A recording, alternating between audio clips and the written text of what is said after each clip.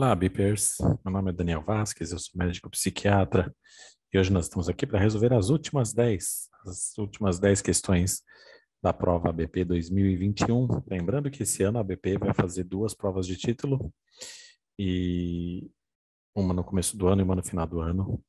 Então, nunca é tarde para começar a estudar. Vamos lá então para a questão número 41 da prova do ano passado. De acordo com o livro da Alexandrina Meleiro sobre o transtorno somatoforme, é correto afirmar que, em geral, não acarreta incapacidade. O paciente, em geral, evita os serviços de saúde. Malária e arbovirose são diagnósticos diferenciais. A prevalência na população adulta é entre 5% e 7%.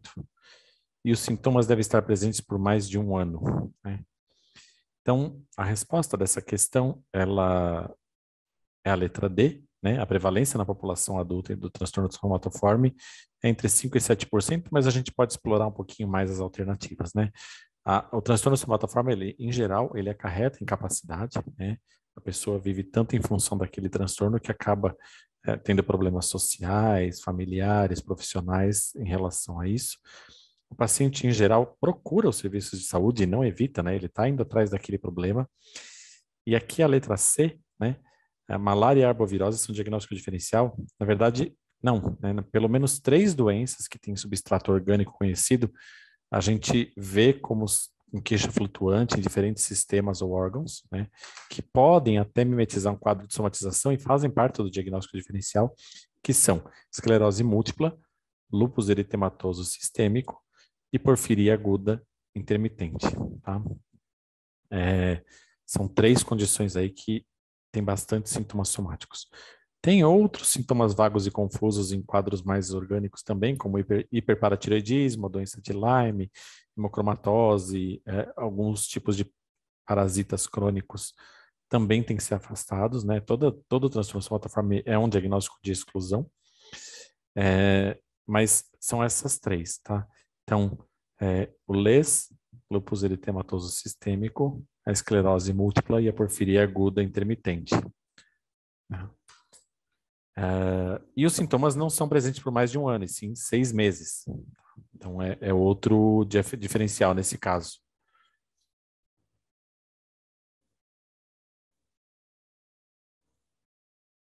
Com relação à próxima questão, então. De acordo com a Alexandrina, a regra que tem que ser respeitada numa abordagem à tentativa de suicídio né, é olhar para o tentante, né, preencher os silêncios, completar as frases incompletas do tentante, não permitir que ele se estenda sobre os motivos e privilegiar a comunicação verbal, sendo a, a comunicação não verbal ou extraverbal desnecessária. Tá? Então, pensando numa tentativa de suicídio, é, a comunicação ela é a ação mais importante que a gente tem que ter para ajudar quem tentou suicídio. Então, a gente tem que observar as ações dele para tentar ler o estado e, e, com alguns diálogos dirigidos, né, que no livro ele, eles abordam mais adiante, e a gente também vai falar de algumas regrinhas, é, trazem alívio e melhora do sofrimento. Essa comunicação ela pode ser feita por mensagem verbal ou extraverbal, com mímica facial, a própria linguagem, né, é, não só a linguagem verbal em si, né, as palavras, mas o tom das palavras, a velocidade, a postura do corpo e o que a gente expressa muitas vezes se contrapõe ao que o corpo, a mímica do rosto apresentam. Existem vários estudos e trabalhos sobre isso. Controversos alguns, mas existem. É, então você pode falar para uma pessoa que adora ao mesmo tempo que você está expressando ódio, raiva e o tom de voz se eleva falando aquilo.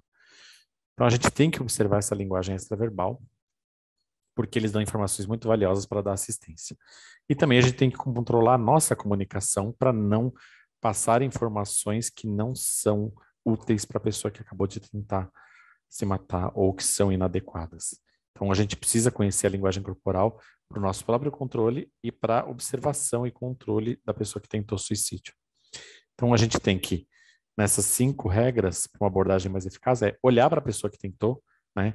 Então, é, não encarar, ninguém precisa ser encarado, olhar nos olhos o tempo todo vidrado, não, mas a gente tem que ter um, um olhar, né, tem que olhar para a pessoa. Então, é, Isso é um preceito básico para a gente poder ter um vínculo. Ouvir atentamente, então demonstrar atenção, educação, respeito. A gente tem que ouvir e evitar julgamentos, né? Porque muitas vezes é, só da pessoa desabafar, ela fica menos tensa, ela consegue estreitar esse vínculo com a gente, ela é, percebe uma aliança terapêutica ali. É, é claro que a gente precisa impor alguns limites, né? É, e, e, direcionar a conversa, mas a escuta tem que ser uma escuta ativa. E respeitar as pausas silenciosas, né? Porque a pessoa, às vezes, ela, elas, quando vão falar de alguma coisa, trava e, é bom a gente não, a gente falar tranquilo, na hora que você se sentir confortável. Então, a gente tem que respeitar essas pausas e evitar completar frases, né? Porque a gente tem muito serviço para fazer, a pessoa vai falando e você, opa, é, ah, doutor, é porque eu me sinto muito angustiado. É, não, não é angustiado, é ansioso. E aí você já meio que parece que você está com pressa da pessoa terminar de falar. Uh, e repetir, resumir e relacionar as ideias. Então, no final, você fecha a conversa falando assim: deixa eu ver se eu entendi o que você me falou. Você tentou suicídio porque você tinha feito isso, isso, isso, sua família agiu dessa forma e você estava com medicamentos que não estavam funcionando, etc, etc. Então, e ver se a pessoa uh, identifica aquilo como correto ou se a pessoa é, repercute aquilo de alguma forma diferente do que, do que ela mesma te falou. Então, é, preencher os silêncios não é para a gente fazer, completar as frases não é para a gente fazer, é, não permitir que ele se estenda sobre os motivos, na verdade, a gente tem que entender a fundo os motivos, privilegiar a comunicação verbal, a extraverbal é desnecessária, eu diria que a extraverbal é mais necessária do que a verbal, e obviamente, olhar para o tentante. Tá? E olhar mesmo, olhar com os olhos, e não só olhar no sentido figurado. Mais uma questão, de acordo com o livro da Alexandrina, quanto aos mecanismos envolvidos no TEPT, pode-se afirmar que não existe determinação genética envolvida, é, eles visam a manter ou restaurar a homeostase, os padrões de resposta no TEPT implicam luta ou fuga, eles contam com uma redução de catecolaminas e aumento do cortisol. E o córtex occipital e o giro do símbolo são as estruturas cerebrais mais envolvidas. Então vamos ver o que diz né, o livro da Alexandrina em relação ao TEPT. Então, é, muito do que a gente estuda do estresse, né, a resposta do nosso corpo ao estresse, a gente deve a esse pesquisador, o Hans Seil, né, que ele concebeu um modelo de adaptação a estressor externo. Então, a gente é, mantém ou o nosso corpo tende a manter ou restaurar o equilíbrio antes do estresse acontecer, ou seja, a homeostase. Ele se baseou em alguns conceitos da física, é, falou que a condição existente no material elástico quando a pressão de uma força externa age sobre ele, né? Então, é, o estresse seria isso, quando você pega um elástico e estica, a ideia é que ele volte ao que ele era, e a resiliência é a capacidade de um corpo de retornar à sua forma e tamanho após a deformação. Então, com isso, ele conceituou que o nosso corpo ele tem uma síndrome de adaptação que a gente emprega para lidar com os diversos tipos de estresse do dia a dia. Né? E a gente usa a estratégia ativa de confronto, de luta, de fuga, quando a gente está na presença de um estressor é, ou de alguma ameaça que seja controlável ou que dê para a gente escapar, ou mesmo estratégias mais passivas, né? que uma delas é a imobilidade, que quando aquilo não tem o que fazer. Né? é muito visível isso para quem tem cachorro em casa, de repente se vai dar uma bronca no cachorro, um cachorro maior, ele se encolhe, mas ele fica tranquilo. Um cachorro pequeno, às vezes, ele, se, ele vira uma bolinha e fica parado enquanto você está dando bronca. É porque a imobilidade é uma estratégia. E essas estratégias do organismo, elas se dividem em três etapas ali. O alerta, então, a pessoa primeiro, ela entra no estado de prontidão, seja para lutar, para fugir ou para ficar imóvel. Então são três estratégias, não duas. Mas o organismo não sustenta isso por muito tempo. Ninguém fica imóvel três dias seguidos, ninguém fica é, lutando três horas seguidas, ninguém fica é, fugindo meses, né? Fugindo, correndo de algum. Então a gente precisa passar para o estágio seguinte, que é a resistência. É tentar, a partir daquela primeira etapa, você tenta se ajustar ao estressor é, às vezes até mudando de uma para outra. Então eu estava imóvel, agora eu vou lutar, ou agora eu vou fugir, ou eu estava fugindo, agora eu vou ficar imóvel. É, e a gente mobiliza nesse meio tempo vários recursos psicológicos, biológicos, sociais, até que a gente entra num estado de exaustão, quando eu já esgotei todos os recursos e aquilo, é, qualquer coisa que eu fizer é disfuncional, é, que foi o que o, o chamou de exaustão adrenal. Né? E esses padrões de resposta, eles têm muita variação entre eles, óbvio, mas a gente consegue dividir em duas amplas classes, que é a imobilidade defensiva. Então você congela, né? Fica com medo, vigilante, deixa o organismo mais passivo, mas você está preparado para responder a algum outro estímulo que venha depois. E a ação defensiva, que é uh, são variações da luta e da fuga, que é quando você reage diretamente ao agressor ou ao ataque. Tudo isso no nosso corpo tem mudança fisiológica, então a gente é preparado naquele momento para o confronto. Tá? Então, pode ter aumento do sistema nervoso simpático, do tônus dele, mas também pode ter redução da atividade parasimpática, a gente vai ter aumento de hormônio uh, adrenocorticotrófico, do cortisol, das catecolaminas, uh, pelo eixo hipotálamo hipófise adrenal, uh, e todos esses ajustes, eles vão aumentar a frequência cardíaca, a pressão arterial, da taquicardia, alteração de perfusão periférica, tudo isso para a gente poder facilitar a nossa reação. Né? Os estudos neurobiológicos que existem né, em relação a isso mostram que a gente tem essas alterações de hipotálamo e hipófise, mas tem outras estruturas cerebrais que estão envolvidas, e são elas a amígdala, né, que é responsável pelo nosso medo, o hipocampo, que envolve inclusive a memória, então a memória do estresse, e é uma das coisas do estresse pós-traumático, a memória que fica, né? Uh, o nosso sistema mesolímbico e o córtex pré-frontal, que responde pelas nossas funções executivas na maioria das vezes.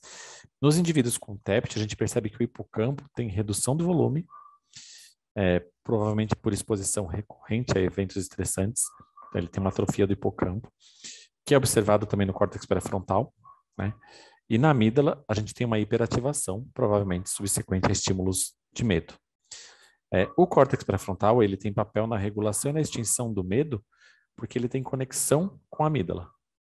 É, e nos indivíduos com TEPT, as alterações funcionais do córtex pré-frontal, principalmente a região medial, vão mostrar uma correlação que é negativa entre a atividade do córtex e a gravidade dos sintomas. Tá? Do ponto de vista genético, então, é, os estudos familiares em gêmeos sugerem como um componente hereditário 30 a 40% de chance de ter esse transtorno após um evento traumático. É, e os estudos genéticos com base em genes candidatos são relativamente pequenos.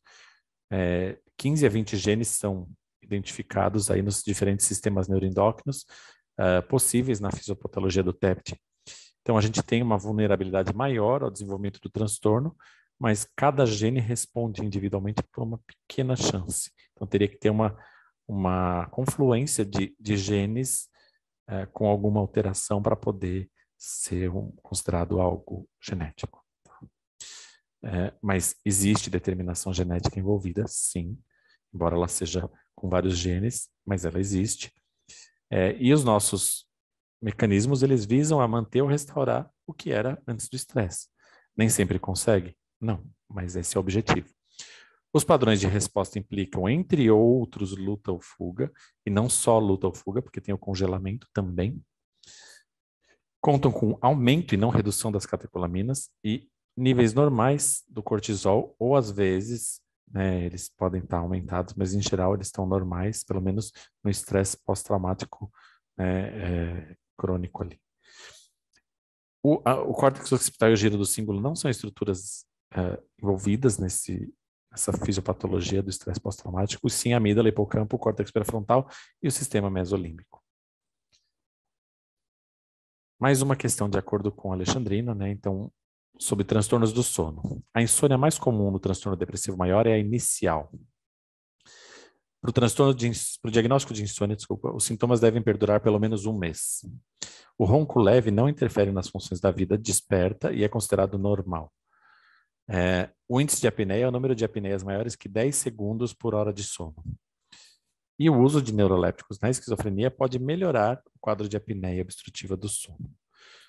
Bom, se a gente pegar o capítulo sobre os transtornos do sono no livro da Alexandrina, a gente vai ver que a insônia mais comum no transtorno depressivo maior é a inicial, né, de acordo com a, o livro da Alexandrina, mas no Kaplan, se a gente comparar, e não é a fonte da questão, obviamente, ele diz que cerca de 80% das pessoas com depressão se queixam de dificuldade para dormir, especialmente do despertar matinal precoce, ou seja, insônia terminal. Então, eu coloquei em amarelo aqui, porque essa questão, é, essa alternativa, na Alexandrina, ela fala que de fato é inicial. Então, essa também estaria correta, mas no Kaplan ele diz que não, que é insônia terminal. É, Para o diagnóstico de insônia, os sintomas devem perdurar pelo menos um mês, não, são três meses. É, o ronco leve, ele não interfere nas funções da vida desperta e é considerado normal, na verdade ele interfere né, nas funções da vida desperta. É, o índice de apneia é realmente o número de apneias maiores do que 10 segundos por hora de sono. E o uso de neuroléptico na esquizofrenia pode agravar o quadro de apneia obstrutiva do sono, especialmente os mais sedativos. De acordo com Alexandrina de novo, a questão 45, sobre a sexualidade humana e a disforia de gênero, é atualmente válido afirmar que comportamento sexual descreve o objeto dos impulsos sexuais de uma pessoa. Para a formação da identidade de gênero estão envolvidos o córtex, sistema límbico e tronco encefálico. A maioria das crianças diagnosticadas com disforia de gênero passarão a se identificar como adultos transgêneros. Orientação sexual conota aspectos psicológicos do comportamento relacionados à masculinidade ou feminilidade. E para a formação de identidade sexual biológica, a diferenciação do masculino a partir do feminino no feto se dá a partir da ação dos andrógenos fetais. Bom, essa alternativa, a letra E, né, para a gente formar a identidade sexual biológica, ou seja, sexo masculino ou sexo feminino, a diferenciação ali no feto, ela se dá de fato a partir de ação de andrógenos fetais tá? derivados aí da testosterona. As outras, como é uma questão uh, que é um tema recente, é um tema uh, difícil e, por que não dizer controverso muitas vezes, é, é interessante a gente explorar um pouco mais. Então, a letra A fala de comportamento sexual, descreve o objeto dos impulsos sexuais de uma pessoa. Não, isso é a orientação sexual. Então, o objeto dos meus impulsos sexuais é a minha orientação sexual. Então, eu sou do sexo masculino, mas a minha orientação sexual, eu sou homossexual, eu sou heterossexual. Ou tem várias outras classificações ali. Mas a orientação é para onde eu direciono os meus impulsos. Isso não é o meu comportamento. Eu posso ter os meus impulsos direcionados para um lugar e me comportar de outra forma por conta da sociedade, por exemplo. Para a formação da identidade de gênero, não, para a formação do comportamento sexual. Deixa eu até colocar aqui. Estão envolvidos o córtex, sistema límbico e tronco cefálico. Tá? Então, não é para a formação da identidade de gênero, e sim do comportamento sexual. A maioria das crianças com disforia de gênero não vão se identificar como adultos transgêneros. E isso é um dos motivos da gente ter vários critérios para poder uh, submeter criança a cirurgia de transição ou, ou mesmo a tratamento hormonal, etc., porque uh, o diagnóstico muitas vezes ele é naquele momento da vida e lá na frente ela vai não se identificar mais como transgênero e aí se foi feita uma cirurgia, às vezes é irreversível. Aqui a orientação sexual conota aspectos psicológicos do comportamento? Não, isso é identidade de gênero. Então aí tem sim a identidade com uh, ela conota os aspectos psicológicos do comportamento relacionados à masculinidade, feminilidade, os dois, nenhum, etc. Questão 46. De acordo com Paulo da Galarrondo, existe um estado de marcante e profunda turvação da consciência, de sonolência intensa, da qual o indivíduo pode ser despertado apenas por um tempo curto, por estímulos muito enérgicos, do nível de uma dor intensa. Então, a pessoa está num estado de turvação total de consciência e só consegue despertar por um breve momento a partir de dor. Nesse momento, o paciente revela faces de dor e tem alguma gesticulação de defesa e retorna, então, rapidamente, em segundos, a quase ausência de atividade de consciência. Esse estado, onde ele se mostra intensamente sonolento, embora ainda tenha alguma reação de defesa muito esporádica e seja incapaz de qualquer ação espontânea, e o traçado eletroencefalográfico se ache global e marcadamente alentecido, podendo surgir ondas do tipo delta, que são as mais lentas, caracteriza o grau de rebaixamento de consciência. Torpor, coma, sopor, estupor ou obnubilação. Esse tema seria muito mais fácil se as palavras não fossem parecidas, né? Torpor, sopor e estupor. Porque coma não é, o coma não acorda, né? E a obnubilação a gente tem ali como uma coisa mais leve. Então sobra, né, para quem é, não sabe isso de pronto, sobra essas três palavrinhas diferentes aí, torpor, sopor e estupor, e fala, e aí? Né? Então eu vou explorar cada uma delas. O torpor, ele é o segundo grau, então vamos no primeiro grau, obnubilação. A pessoa está com uma sonolência leve, chacoalhou, ela acorda, às vezes ela tem uma lentidão para compreender, fica um raciocínio um pouco mais lento, mas é, dá para acordar. É uma sonolência que não é fisiológica, não é uma sonolência de feijoada, né? É uma sonolência patológica, mas ela é leve. O torpor, ele é o segundo grau, né? Então, uh, a pessoa está evidentemente sonolenta, ela responde só quando você chamou de forma enérgica e volta para esse estado. A resposta desses estímulos, quando é, estimulado energicamente, é, ela é mais curta do que no estado de obnubilação, mas ela é menos frustra do que no estado de sopor. Então, é, é, um, é um chamado mais enérgico, mas não só nível de dor intensa. Então, o torpor, ele vem antes. Tá? É, o sopor seria o terceiro grau, né? então eu não, não descrevi aqui na alternativa, porque ele está descrito no enunciado. E aí o quarto grau é o coma. Tá? Então, é, como seria a perda completa da consciência, onde a gente não tem nenhuma atividade consciente, movimento ocular errante, é, nistagmo, transtorno de olhar conjugado, etc, etc, etc. É, mas o coma já é o estado, o último estágio de perda completa de consciência. Ah, mas e o estupor? Né? Porque está citado aí, a gente já ouviu falar de estupor. O estupor, ele é, é uma perda de toda atividade psicomotora espontânea. O indivíduo age de modo global, né? É, é, é atinge a pessoa de modo global e ele age sem é, nenhuma consciência daquilo que ele está fazendo, mas ele está consciente, ele não tem consciência no sentido de não ter noção do que está fazendo. Então, é, ele tem um nível de consciência preservado, uma capacidade sensório-motora para reagir ao ambiente, mas toda atividade voluntária, incluindo a comunicação verbal e não verbal, mímica, olhar, gesticulação, marcha, tudo envolvido. A pessoa está, em geral, acordada. Então, o estupor, ele não faz parte das alterações de nível uh, de consciência, pelo menos não uh, quantitativo ali, né? Seria mais uma alteração qualitativa. Mas o estupor, ele é muito mais visto em quadros de esquizofrenia, por exemplo. Então, estupor, esquizofrenia, fica fácil da gente lembrar. E como eu vou lembrar dos outros, né? É, é se a gente pensar em obnubilação, torpor, sopor e coma, né? O T e o S, como eu vou saber se o torpor ou o sopor que vem antes?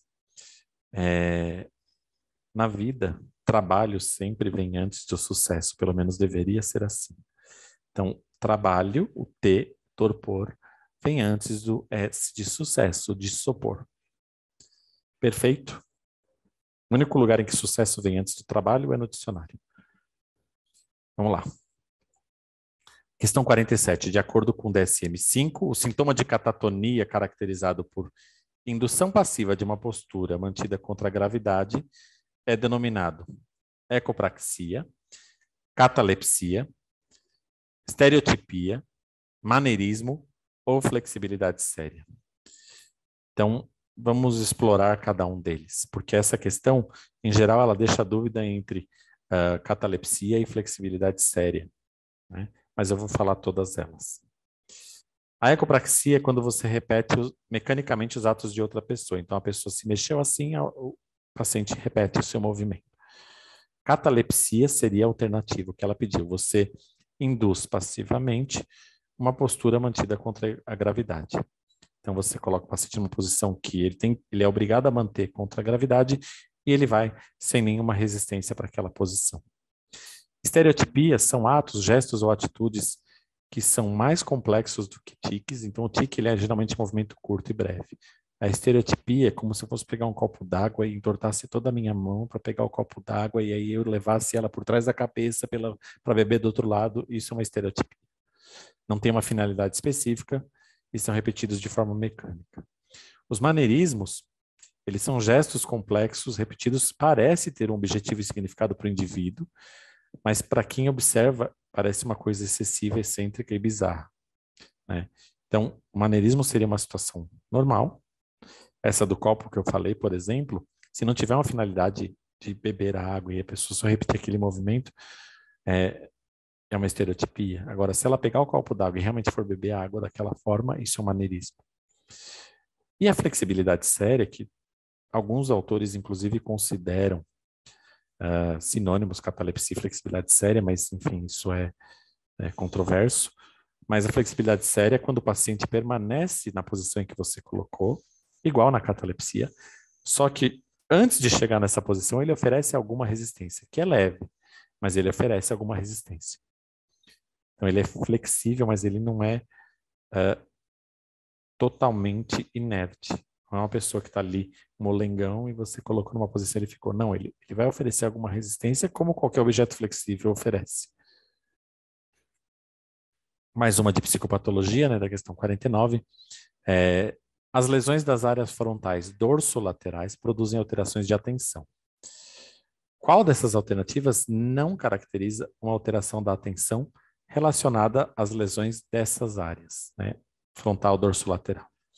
Impulsividade, distraibilidade, impersistência, perseveração ou repetição automática de respostas.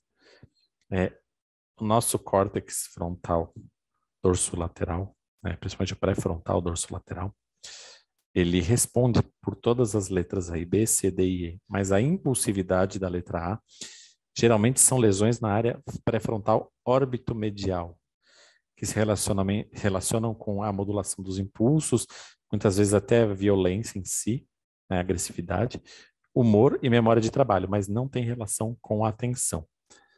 A própria impulsividade não tem uma é, relação muito grande com a atenção, né?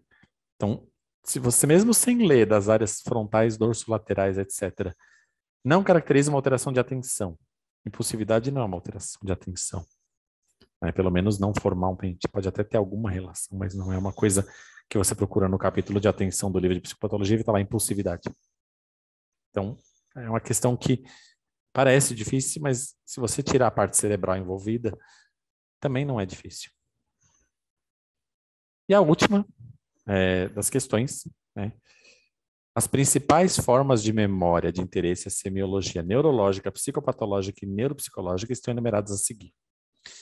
Qual delas é uma forma de memória que é geralmente implícita e não declarativa? Nossa, o que é isso? Vamos falar. Temos a memória episódica, semântica, de trabalho, de procedimentos ou nenhuma delas. Tá? Então, implícita e não declarativa. Vamos lá. Memória explícita, né? que é declarativa. Ela é relacionada a tudo aquilo que a gente tem como conhecimento consciente obtido com algum esforço. Então, é, um, é uma memória adquirida e a gente consegue evocar com intervenção da consciência. Né? Então, é, fatos autobiográficos, quem eu sou, de onde eu vim, por que, que eu fiz isso, por que, que eu fiz aquilo, quem eu não sou, o que, que eu não gosto, etc, etc. Então, almocei no último domingo com a minha avó, a gente pode lembrar, mas tem que ter algum esforço para lembrar e, e, geralmente de forma consciente, consciente. A memória explícita também pode ser de imagens visuais, palavras, conceitos ou eventos. Nossa, imagens visuais, isso não é alucinação? Não, olha que interessante. Se eu pedir para vocês imaginarem todos um elefante de cor azul, todos vocês conseguiram visualizar um elefante de cor azul sem vê-lo, mas você teve uma imagem visual. É, palavras, conceitos e eventos. A memória implícita, que é uma memória sem consciência ou não declarativa, ela é um tipo de memória que a gente adquire e utiliza sem que perceba, né? sem consciência e sem esforço. É meio que automática e espontânea. Então, procedimentos, você vai engatar a marcha no carro, pisar no freio, trocar, não sei o quê, é, abrir a porta do carro, ou uh, pessoas que lutam, né? vai defender um golpe, vai aplicar um golpe em alguém, faz aquilo meio que no automático, porque ela já se tornou espontânea. Né? Então, escovar os dentes, andar de bicicleta, é, bordar, tricotar para quem faz isso, é, essas pessoas que trabalham em cartório, que ficam carimbando e vão virando a folha, aquilo não está nem perto de ser uma coisa consciente, né? Mas não são só procedimentos que estão envolvidos nessas memórias implícitas. Né? Alguns conhecimentos gerais que estão ancorados em palavras e que a gente adquire e usa sem perceber, por exemplo, a nossa própria língua materna. Então, eu não fico parado pensando, a menos que eu vá ler um livro do Machado de Assis, do Essa de Queiroz, que eu preciso parar a cada 10 minutos para consultar o dicionário, porque ele usa palavras que a gente não usa mais no dia a dia, é, a gente consegue se comunicar com qualquer pessoa sem esforço algum na nossa língua materna. Mesmo quem fala um, um dialeto um pouco diferente de outra região do país, é, a gente consegue se adaptar rapidamente àquilo e muito sem perceber. Né? Então, voltando, né? Então, a memória episódica que ele cita na letra A, ela é explícita, de médio e longo prazo, então são eventos específicos, são um episódio que aconteceu. Então, é, o que, que eu fiz no último fim de semana é uma memória episódica. Então, eu preciso recordar conscientemente um fato real acontecido. Isso é declarativo, é explícito. Memória semântica também é o aprendizado, conservação e utilização de todos os conceitos e conhecimentos que aquele indivíduo tem, que é chamado de conhecimento geral sobre o mundo. Né? Então, uh, conhecimentos como a cor do céu, ou de um papagaio, quantos dias tem numa semana, é, são de caráter geral e a pessoa cristaliza isso com a linguagem. Então, isso é memória semântica. Tá? Ela também é explícita. Eventualmente, ela pode ser implícita, mas, em geral, ela é explícita e ela é uma representação de longo prazo de tudo aquilo que a gente foi aprendendo no mundo. Se eu jogar um livro para cima, eu não espero que ele continue subindo. E é exatamente a memória semântica que os mágicos, em geral, usam contra nós mesmos, né? Então, ele pega uma carta que se ele joga para cima, todo mundo espera que ela caia e ela some. Então, é, se quiser lembrar de semântica, lembra sempre dos mágicos, porque é do conhecimento do mundo. É, significado de palavra, dos objetos, ela é uma memória basicamente explícita. Memória de trabalho. É aquela memória que a gente usa para decorar o número de telefone de alguém até ter tempo de pegar uma caneta e anotar. Então, ela é uma coisa muito imediata. Então, eu preciso anotar uma informação ou decorar um endereço até não sei o quê, até poder anotar ou perguntar alguma coisa. E isso é, obviamente, explícito, porque eu preciso fazer um esforço para manter aquilo na mente por tempo. A memória de procedimentos. Bom, eu, quando falei das memórias implícitas, eu citei justamente os procedimentos. Então, é tudo aquilo que a gente faz tantas vezes que se torna automático, né? é meio que não consciente. Então, é, andar de bicicleta, digitar no computador, quem sabe tocar instrumento, toca sem olhar muitas vezes. Às vezes, uma, um acorde que não está acostumado, aquilo vira explícito, até a pessoa pegar aquele acorde e aí vira implícito de novo. Né? Habilidades visoespaciais, então a pessoa aprender solução de quebra-cabeça, de labirinto, é, regras gramaticais, decorar conjugação de verbo, etc. Tudo isso é implícito e não declarativo. E é nenhuma das citadas acima não é. Então, de todas, aqui se encontra no perfil de memória declarativa ali, é, aliás, não declarativa, é a de procedimento. Questão 51. Obviamente, a prova não tem 51 questões, ela tinha 50 questões, mas em alguma das edições anteriores eu pulei essa questão sem querer e nós vamos fazer isso agora, então eu coloquei como questão 51.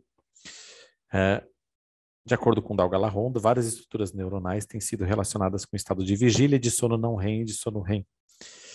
E na regulação fisiológica do sono é muito importante o núcleo supraquiasmático que fica no hipotálamo anterior, Além dele, outras estruturas importantes são a glândula pineal, que funciona como um oscilador que controla o ritmo sono-vigília em 24 horas, os sistemas reticulares mesencefálicos e bulbares, que são o sistema reticular ativador ascendente, né, que a gente chama, e os geradores de sono REM localizados na ponte. Qual a alternativa que apresenta a substância secretada pela glândula pineal no exercício do papel fundamental descrito acima? Histamina, dopamina, melatonina, serotonina ou acetilcolina? qual delas é da pineal, né? Então, essa é meio que uma questão dada, né? Mas vamos discutir mesmo assim. Uh, a glândula pineal secreta melatonina, tá? E quimicamente, os neurônios que estão envolvidos ali na estrutura do sono, no mecanismo do sono, são as, a acetilcolina e a histamina, tá? Claro que serotonina desempenha papel, claro que a, é, noradrenalina também, dopamina também, é, etc. Mas a, a histamina e a acetilcolina são os mais envolvidos nesses mecanismos neuronais do sono. Então, melatonina. Tendo isso, terminamos a prova de 2021 e esse ano teremos duas, repito, né? E sugiro que todos nós nos preparemos aí para essa prova, estudando sempre e contando com a gente aqui no BIP. Um abraço e até a próxima.